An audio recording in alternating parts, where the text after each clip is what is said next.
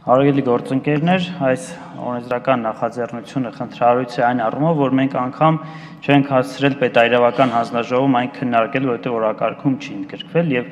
կառավարության այս հրատապությունը հասկանում եմ ինչով է պայմանավորված, բայց ամեն դեպքում դա չի կարող առիթ եւ պատճառ հանդիսանալ, որpիսի հնարավորություն չտար, որ պետայրավական հանձնաժողովում մենք կարողանանք նորմալ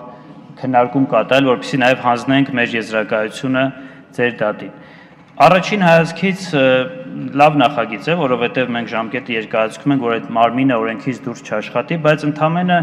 3 իմ օգնականները երեկոյան նայելու ընթացքում 6-7 դիտողությունների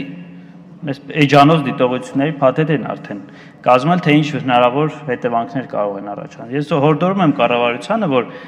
նման կարևորագույն փոփոխություններ կատարելուց գոնե ժամանակահատվածի առումով մեզ հնարավորություն տան նորմալ աշխատելու։ Չգանք էլի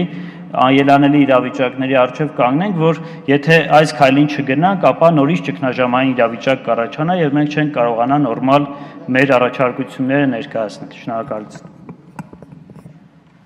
Եզրափակիչ ելույթ պարոն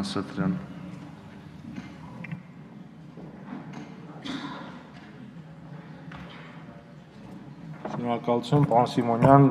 առաջարկը քննադատություն ընդունելի է, հաջորդ անգամ կփորձենք ավելի կանխատեսելի եւ ավելի լայնածավալ բովանդակային քննարկումներ ունենալ։ Շնորհակալություն։